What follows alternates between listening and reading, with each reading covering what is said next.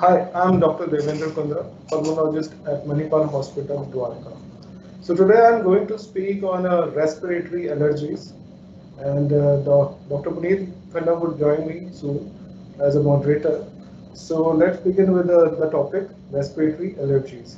So as the weather is in transition phase and the you know envir environment pollutants are increasing and after lockdown has removed the industrial you know work has increased uh, manufacturing in the in factories and industries have increased so the pollution is increasing. And the people uh, you know who are prone to have allergies they have started developing symptoms of allergies. So uh, before uh, going to the topic directly, I would like to tell you what is allergy. So the basic concept of the allergy is it is a actually a hypersensitivity response to something. This something is allergen actually, to which the individual has been exposed. Maybe the individual has been exposed previously or currently has been exposed and has developed the allergy. So actually it is a hypersensitivity response.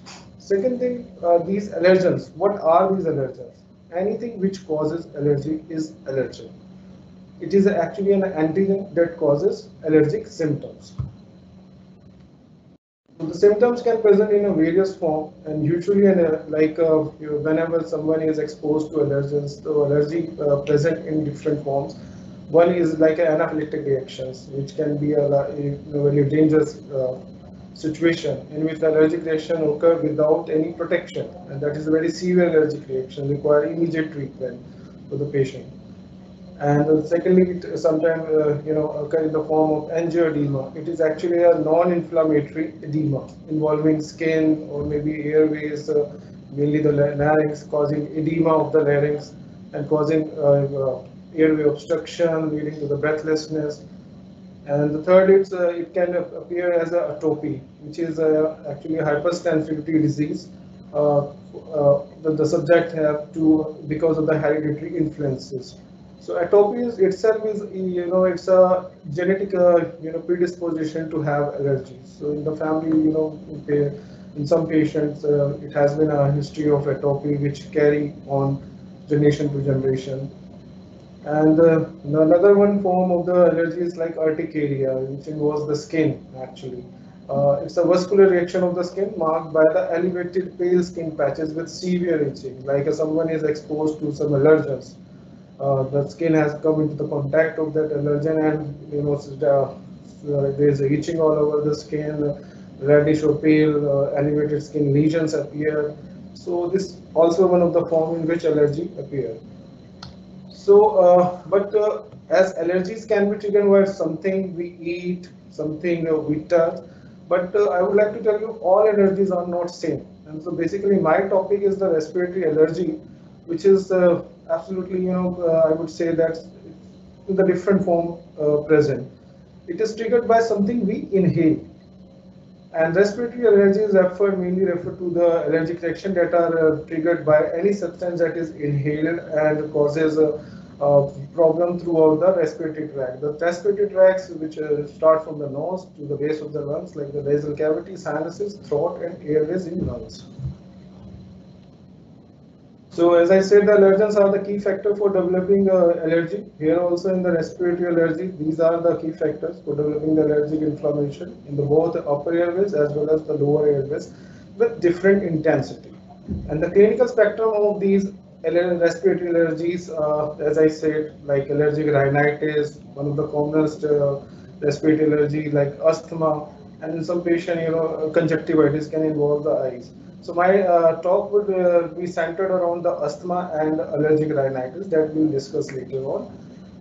And uh, as there is a concept that one airway and one disease means whichever whichever the uh, allergy involves the upper airway, sooner or later it involves the lower airways also and it present as a one disease. So unified assessment of the airway is necessary because of this one airway, one disease concept, irrespective of whether symptoms of the asthma are there or the symptoms of rhinoconjunctivitis are present.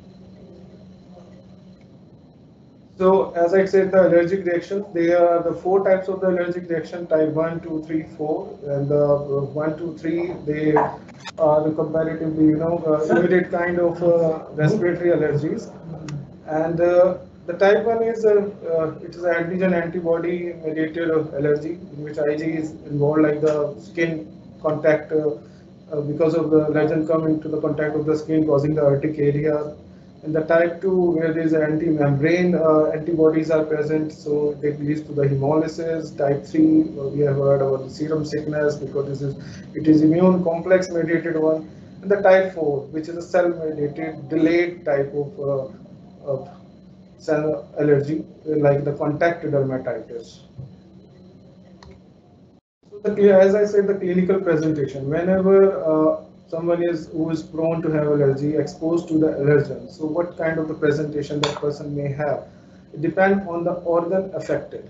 If the skin is affected then the skin reaction would occur. Otherwise you know uh, even the cardiovascular reactions can uh, if cardiovascular system is involved like the anaphylactic reactions it uh, may lead to the life threatening situation. Respiratory system involved and the breathlessness mucus production and uh, many more problems occur with the respiratory uh, system involvement. If eye is involved, redness of the eye, itching in the eyes, watery eyes, gastrointestinal tract may involve, which lead to you know uh, diarrhea, pain, abdomen, vomiting also, and sometimes a generalized anaphylaxis. So as I said, the skin reactions, contact dermatitis, then the drug eruptions uh, and drug eruptions occur, like urticaria, erythema, angioedema, and the respiratory. If I talk about the respiratory reactions, then the uh, rhinitis, laryngoedema, bronchospasm, mucus production, breathlessness, whistle sound coming from the chest, which is known as a wheeze, and the cardiovascular manifestation in which patient might have palpitation, tachycardia, abnormal rhythm of the heart, and the patient may have low BP, hypotension. Patient may become, you know, unconscious, need immediate support, and because it to the anaphylactic shock, which is a, a fatal condition. So here is the, the overview, but so I have spoken so far, like the manifestation of allergy involving the various organ. You can see like the respiratory tract, skin, same cardiovascular system, generalized skin eruptions, or maybe allergy just involving the localized part. So uh, as I said, my uh, talk will be centered on the asthma and the allergic rhinitis. Uh, these are the commonest uh, respiratory allergies problems. So the brief, asthma is just, I would tell you, asthma is a chronic inflammatory condition in which patient usually present with the you know breathlessness, having a shortness of breath, along with the wheeze. Patient may complain of the chest tightness and cough. Well, uh, these symptoms are uh, variable in the intensity, and uh, whenever we uh, check their airflow, it uh, there is a airflow limitation which is also variable. And a but uh, the thing is that the asthma there is a period where the patient remains symptom free. It is actually an intermittent disease, not a persistent disease. So whenever patient has allergy, and during that time, patient patient may have all those asthma symptoms and in between whenever the patient is settled and there are then there will be no symptoms of the asthma. Rhinitis is also an allergic condition as it is an inflammation of the lining in the nose and the nasal passage. So how it presents is marked by the sneezing, congestion of the nose, runny nose, itchiness. And the respiratory allergies can also cause watery eyes along with the itchiness and swelling. And the, these similar these symptoms can seem similar to the common cold as in the common cold, there are itching in the eyes, runny nose, congestion in the uh, nose, and you know post nasal drip is there. So all these are manifestation of the allergic rhinitis, and uh, another thing, these manifestation increase the risk of developing the bronchial asthma in the future. So as I uh, uh, told you in the beginning that uh, we uh, take respiratory allergy as a concept of one airway, one disease. So person whosoever is having allergic rhinitis, uh, they, uh, those uh, people are always prone to have asthma later in their life. So how do we diagnose respiratory allergies actually? You know, broad respiratory allergy, uh, is diagnosed based on the clinical history. Always we ask for the history, what are the symptoms of the patients, whether the symptoms are intermittent, persistent, is there any specific time period or specific weather, uh, anything the patient knows that they, on exposure to that particular thing, patient develops symptoms. So the clinical history always help in making the diagnosis. And physical examination, the some specific tests also they help uh, in uh, you know consolidating the diagnosis. So basically, we uh, get a lung function test done in the case of wherever we suspect asthma. It is actually it is a spirometry test where we diagnose the asthma and differentiate it from the other respiratory disorder like the other obstructive airway disease like uh, COPD, which is a smoker lung disease. And the, mainly the difference between the asthma and the COPD is that uh, in asthma it is an intermittent disease and the COPD is a persistent and progressive disease. So here the pulmonary function test, spirometry is very helpful. And the variability of the airflow obstruction uh, can be measured at the home also. If the pulmonary function test cannot be done, then we use the peak flow meter, which is a simple handy device, can be carried by the patient at home. Patient can check the flow, flow of air from the lungs in the day, in the morning, uh, or at the night, and the variation between the values we uh, come to the diagnosis whether a patient is having a variability of their airflow limitation or not. And uh, allergy there are some allergy tests also like the skin prick test uh, specific IgE test even a total IgE test help us to uh, check whether the patient is uh, having atopy or not. And there are some allergen challenge tests also.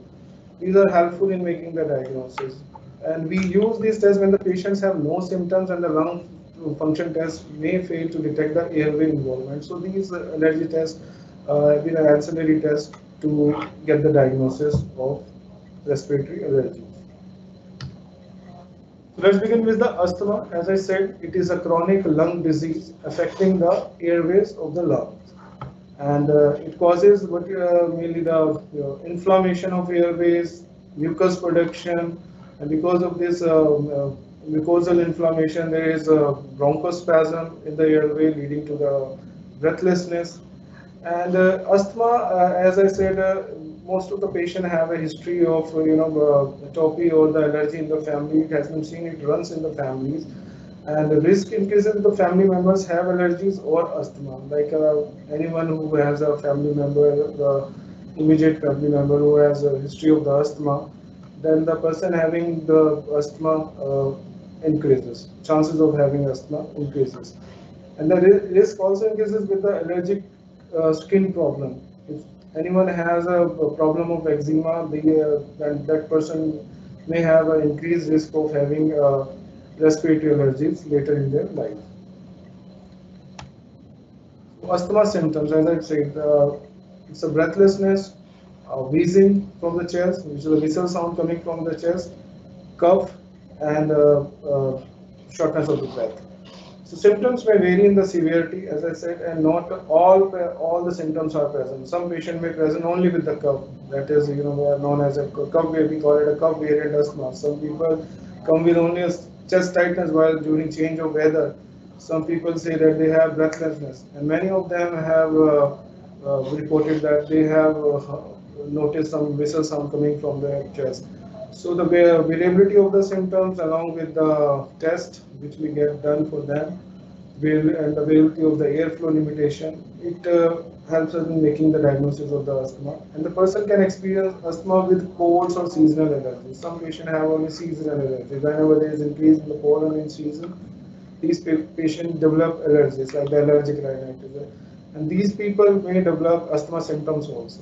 So even a simple viral infection, seasonal allergies, they can lead to uh, exacerbation of the asthma or may cause the development of asthma symptoms.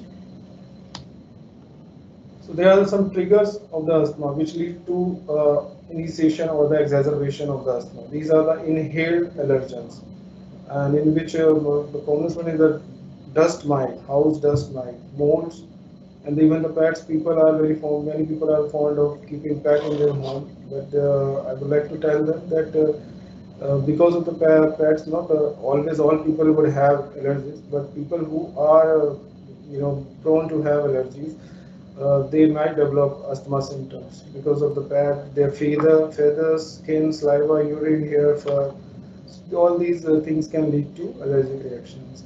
Another thing like the trees, grasses, pollens, weeds, irritants, they all lead to the allergic reactions in the airway causing asthma symptoms. And outdoor pollution like air pollution, even the indoor pollution also lead to exacerbation of asthma. Some uh, perfumes, strong uh, cleanser, paint, chemicals, uh, smoke in any form, this can trigger asthma. People who smoke actively or passively and are prone to have allergy, they can develop asthma because of smoking. So smoking is has been seen as one of the factors leading to asthma. Uh, and the other thing like the patient who have you know repeated viral infection like a common cold, they develop asthma symptoms. And some people have uh, asthma symptoms during exercise only. Whenever they start doing exercise, they uh, uh develop asthma symptoms, which is known as the asthma-induced uh, exercise-induced asthma. So uh, these are all the triggers of asthma so far I have been seen. So what actually happens in the asthma airway? As the normal airway, there is uh, the uh, the cross section of the airway remain normal, but whenever there is allergic reaction uh, develop in the airways, there is irritation and the swelling in the airway, production of the sticky mucus, which is a phlegm actually, and the small muscle tightness uh, occur there and airway gets constricted. Actually, this is the constriction of the airway due to which patient uh, you know uh, starts having a wheezing or the breathlessness. Whenever there is bronchospasm, the, the patient develop wheezing or breathlessness. So you can see the normal airway, muscle and the linings these are normal. The cross section of the airway is normal. It's not constricted, but whenever there is there is asthma and the allergic reactions are going, if this uh, eosinophilic inflammation going on in the airways, then the person uh, develop uh, these all things like a tightness of muscles, swelling in the uh, airway wall, and the mucus production. So risk factor of the asthma these are the predisposing factor atopy, which is a genetic uh, you know predisposition to have allergy, some genet genetics. Like if the family member has asthma, then the person may have uh, may develop asthma later in their life. Gender, it has been seen males are have been seen uh, having asthma more than the the, the female. Uh, and the causal factors are like the indoor allergens or wherever uh, the person is working like the occupational sensitizers are there or the outdoor allergens like the outdoor pollutions or the pollens there outside which can uh, lead to asthma symptoms development. And contributing factors are like air pollution and some diets even a low birth weight babies it has been seen they are more prone to develop asthma in their life later on. And the rest and the people who are having respiratory infection frequently even in their early uh, age, they develop asthma later in, in their life. And smoking, it is it has been seen it's a, it has been a very uh, strong contributor of developing asthma symptoms. So how do we diagnose asthma? Again, history always, as it is a principle to diagnose uh, any of the disease. So here also asthma uh, is diagnosed on the basis of the history with the objective measures in the lung function in the form of spirometry. And uh, what we see that uh, once a patient performs spirometry, we see whether there is a uh, airway obstruction is reversible or not. So reversible airway obstruction after bronchodilator, it uh, helps us in making the diagnosis of the asthma. Another thing is a variable airflow limitation over the time and the airway hyperresponsiveness. So these are also some tests like the bronchoprovocation test we use to diagnose asthma and assessing the allergic status of the patient, like uh, serum total IgE or the specific IgE, or to some modes we can get checked to see whether the patient is sensitized to that particular thing or not, leading to all these uh, symptoms of asthma. And when, as I said, the asthma present with the breathlessness, wheezing, cough, chest tightness, so we have to give some other differential diagnosis in our mind because uh, always all these symptoms are not because of asthma. Like uh, so, the differential diagnosis to the asthma could be a post-infectious cough. Like many patients who develop just a LRTI, lower respiratory tract infection, and later on they develop cough for a longer period of time. It might look like it, it is a asthma, but uh, it is uh, sometimes it is not. It is just a post-infectious cough. And the people who have a continuous post-nasal drip, they have a chronic cough, which uh, look like asthma, but it is not. And COPD, chronic obstructive pulmonary disease, which has been seen in smokers. It could be a differential diagnosis to the asthma, another thing, the heart failure, angina, lung cancer, hyperventilation syndrome, vocal cord dysfunctions. So these are all the uh, differential diagnoses which we need to exclude before coming to the conclusion that the patient is having asthma. And the approach to the management of the patient of the asthma, we confirm the diagnosis. Always, we first we confirm the diagnosis. Patient is not having any other uh, disease, uh, and uh, then once the diagnosis is confirmed, we uh, do the management of the patient, like the self making the patient educating uh, regarding the self-management of the symptoms, like the avoiding of the environmental triggers and uh, taking the inhalers on time, teaching the patient proper inhaler technique, adherence to the treatment, and we give the action uh, asthma action treatment plan to the patient at the time of the emergency. We give the reliever therapy, we give the controller therapy, we give the, the uh, we do the regular assessment of the asthma including the spirometry and the pulmonary uh, peak expiratory flow with that uh, peak flow meter whenever the patient comes to us. Actually the goal of the asthma is to minimize the risk of exacerbation and adequate symptoms control. Patient should have maximum time of uh, uh symptom free and these can be achieved with a you know proper assessment, adjusting the treatment of the patient and reassessing the patient whether the patient uh, require any change in the treatment or not. So the treatment of the asthma requires the actual stepwise management of symptoms with proper assessment followed by treatment adjustment as per the individual patient and review of the patient for further action plan. As many patients have concomitant allergic rhinitis, as I said, one airway, one disease. So we need to treat the allergic rhinitis also if we want to control symptoms of the asthma. Uh, we, uh, and it is necessary to treat the symptoms of the uh, for, of rhinitis for achieving well-controlled asthma. And treatment modality for the asthma are always the mainstay of the treatment is inhalational therapy in the form of nebulization or inhalers or a rota cap which uh, include you know steroid or bronchodilators, maybe a short-acting or long-acting bronchodilators. And uh, some patients require, uh, if there is infection, they may require antibiotics also.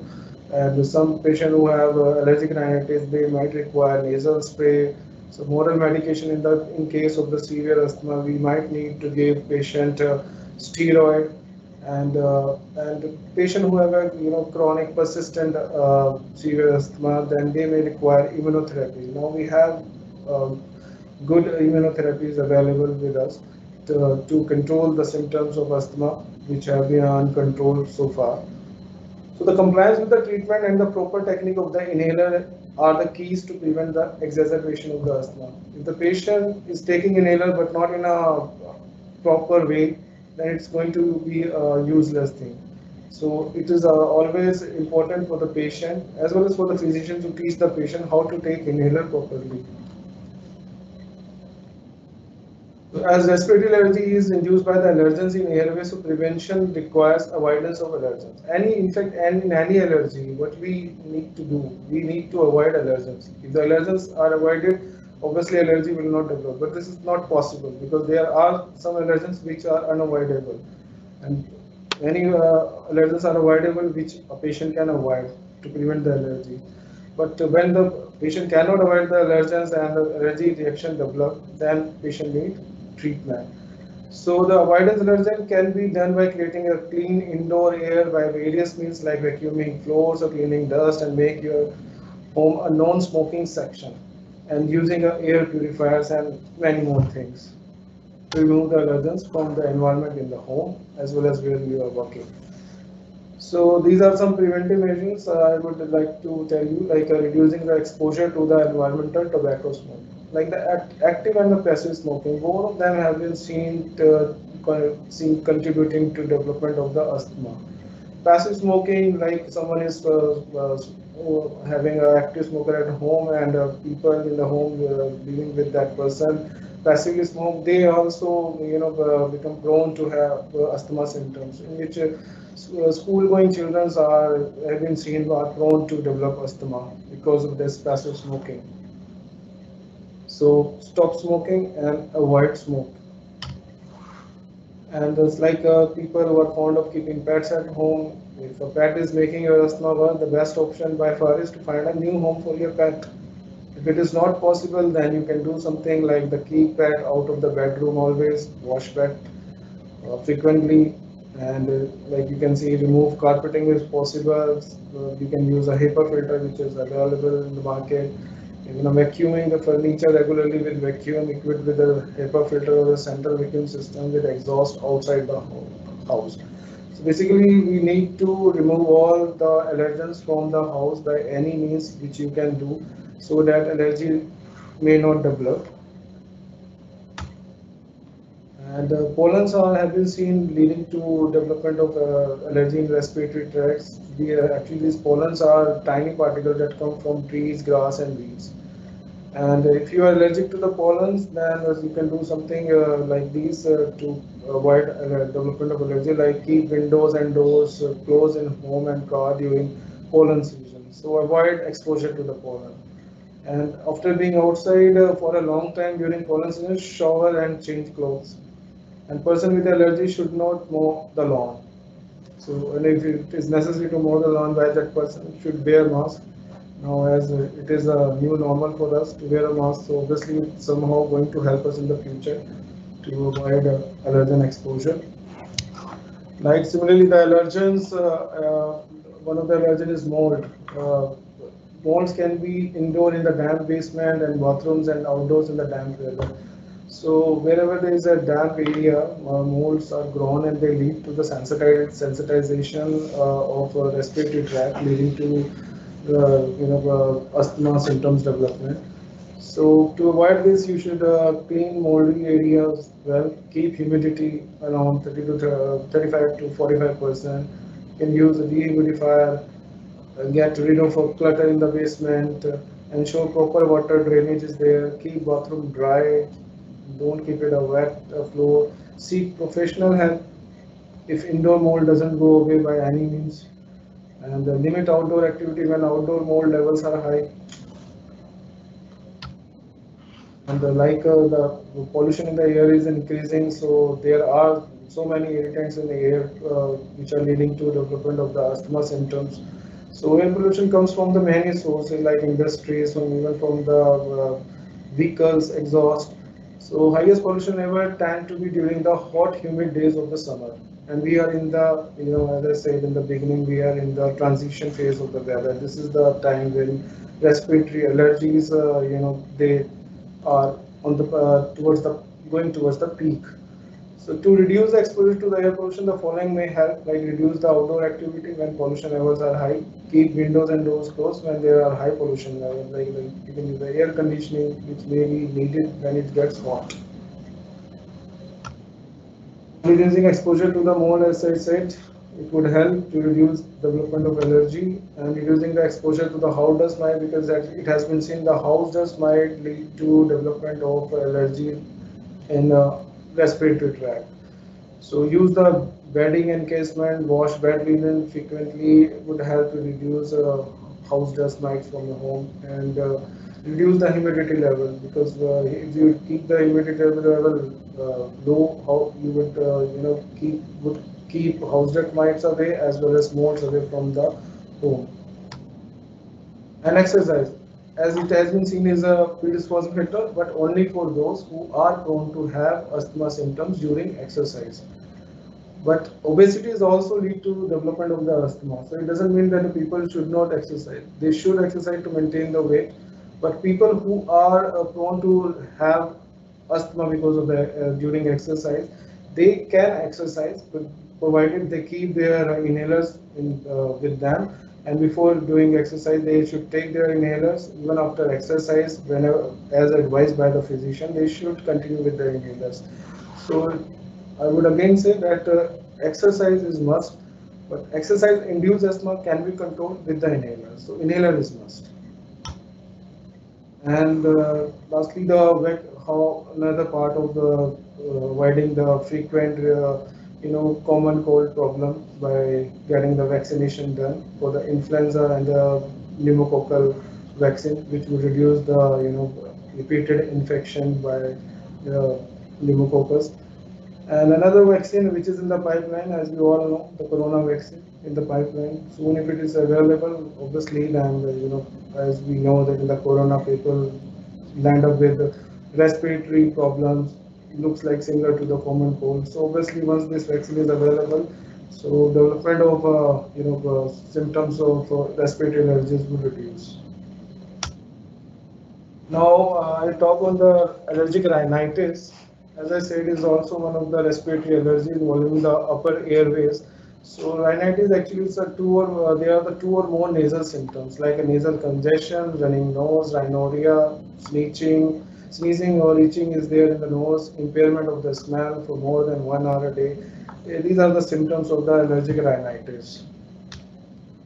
So rhinitis occurs most commonly as an allergic rhinitis and it is actually a non-infectious uh, rhinitis which is either allergic or non-allergic but it has been seen more usually it is allergic rhinitis and allergic rhinitis is defined as a immunological nasal response primarily mediated by the immunoglobulin IgE so here the total Ig level help us in making a you know diagnosis of uh, this allergic rhinitis and the non-allergic rhinitis is defined as a rhinitis symptom in the absence of any identifiable allergens. So there are no, uh, uh, as such, there is no uh, uh, identifiable allergy or a structural abnormality or sinus disease.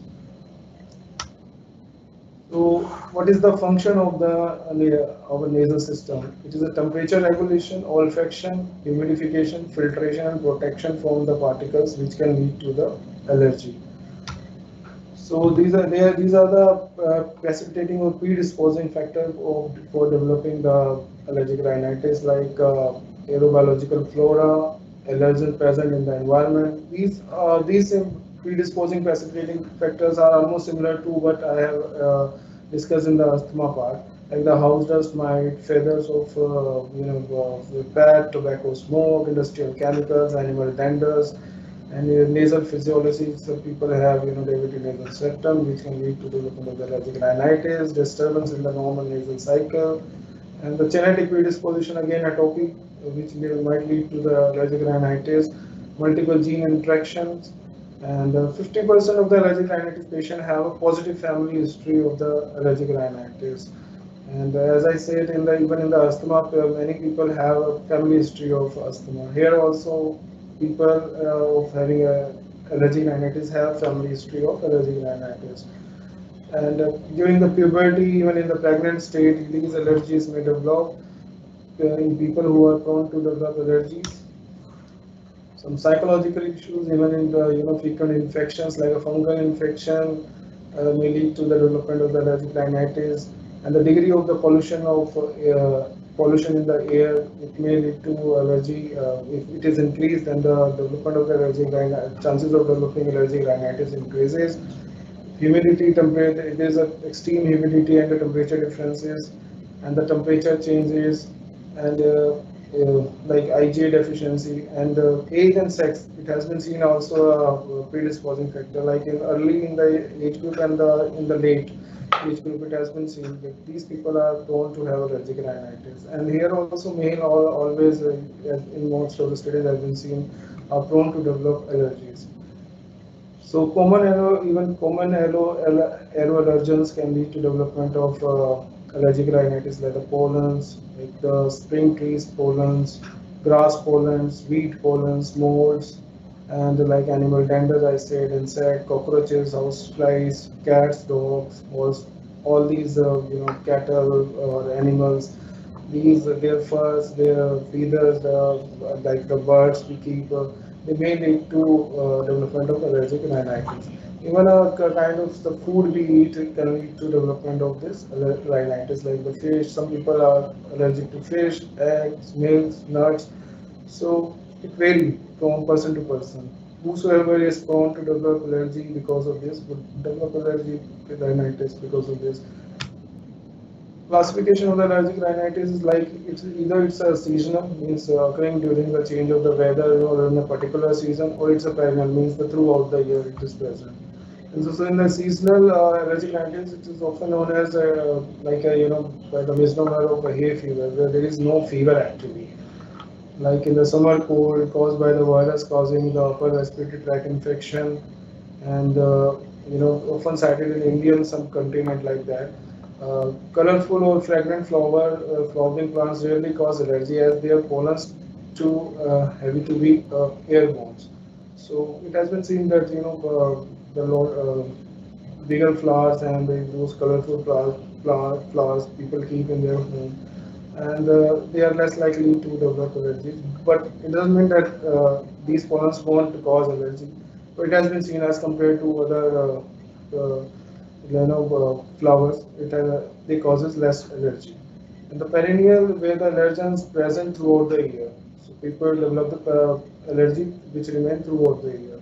And then the intermittent, the symptoms present less than the four days per week and less than four weeks per year.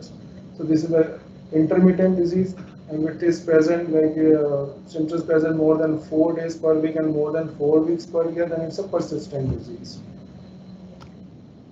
Sign and the symptoms of the allergic rhinitis like sneezing, itching nose, uh, itching in the nose, ears, eyes, or in the soft palate, rhinorrhea, like running nose, post-nasal drip, repeated throat clearing, congestion in the nose, and there is a loss of smell, of uh, loss of sense of smell like anosmia, headache, or earache, red eyes, swollen eyes, drowsiness, and the malaise. So these are all the symptoms of allergic rhinitis.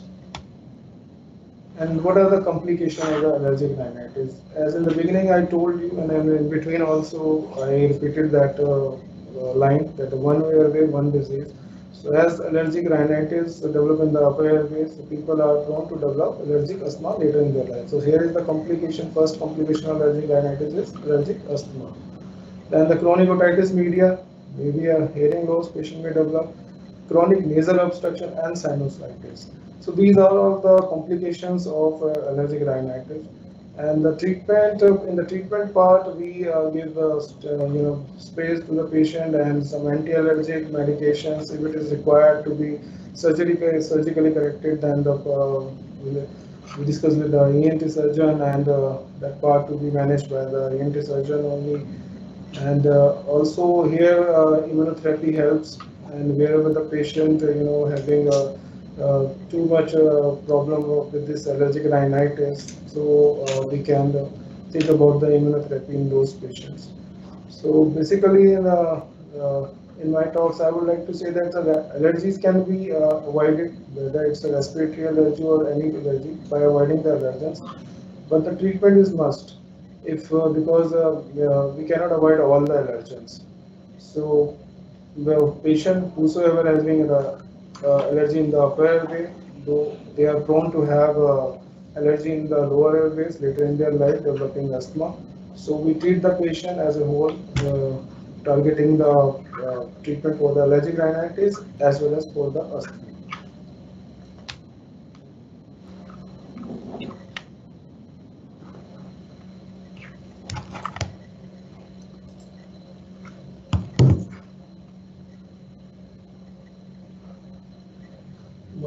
Symptoms uh, allergy. See, uh, it depends. Uh, you know, it's a, actually a food allergy. So even a food allergy can lead to the respiratory symptoms. It can lead to you know skin eruptions also.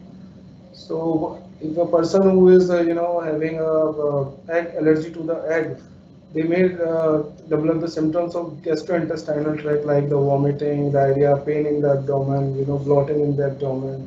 Some patient may, you know, develop the, you know, skin eruptions and some patient may have, you know, start sneezing, running nose. And many few patients have been seen, it may lead to the breathlessness also. So, you know, uh, as it is a food allergy, but is actually involve the systemic, uh, the whole body as such. So it depends where this this allergen causes the allergic reaction. But basically, it causes uh, uh, gastrointestinal tract reactions. Okay.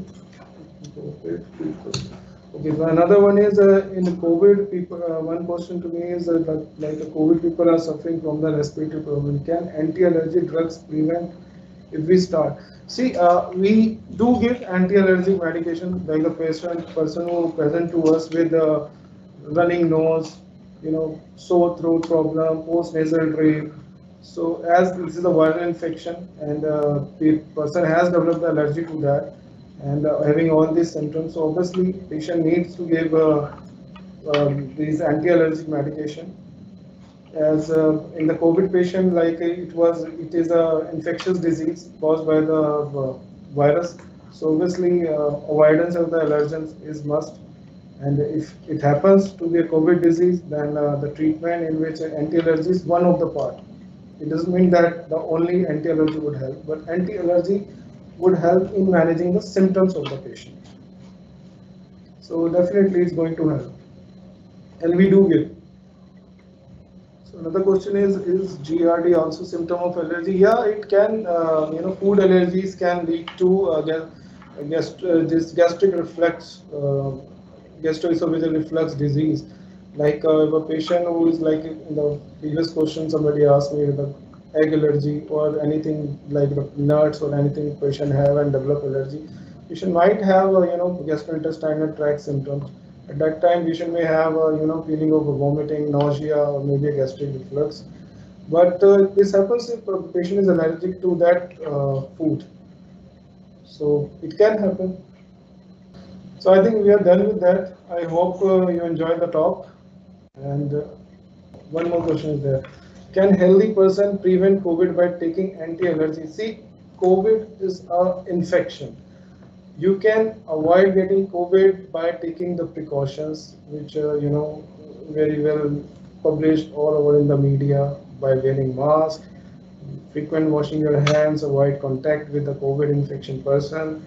And uh, obviously, if you avoid all these things, you would uh, avoid getting uh, infection with the COVID.